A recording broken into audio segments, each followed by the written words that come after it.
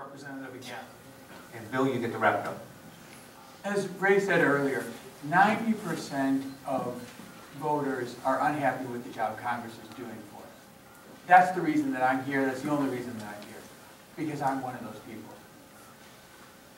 I want to ask the people who are looking for change to do something bold and different from what they've been doing.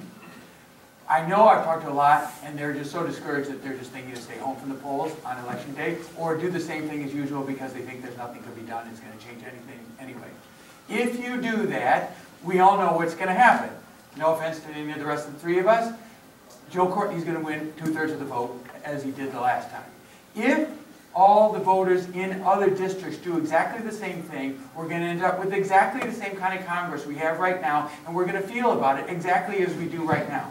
If instead you decide to use your votes as the strong signals, the strong and powerful messages that they are, to send a signal to Washington that business as usual is not okay, then we can change that. Thank you. Good night. And, and let me uh, thank you, boy, you you are the best behaved audience we've seen in the entire, now you can applaud.